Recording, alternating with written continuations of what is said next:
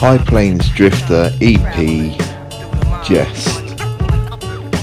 Um, I kind of got this on a hunch, and I'm very pleased I did. Um,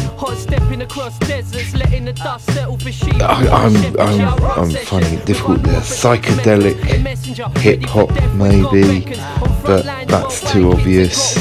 Western hip hop, too obvious. It's a great EP. This um, very dreamy.